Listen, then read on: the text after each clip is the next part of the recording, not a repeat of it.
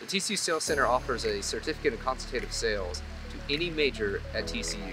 When anyone enters the TCU sales program, they are gaining a strategic advantage. They're going to have a higher earnings capacity and potential upon graduation. No matter what career they pursue, a sales certificate, sales training, the collective network of our alumni and those who we bring in in the influencer community with the TCU Sales Center ultimately empower students at a new level.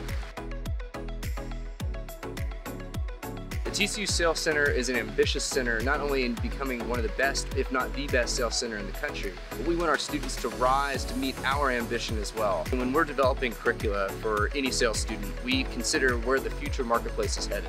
We look at sales enablement, we look at sales strategy tools, project management systems, we look at sales generation, lead generation, customer relationship management, and all factors that we know industry need addressed now and in the impending future.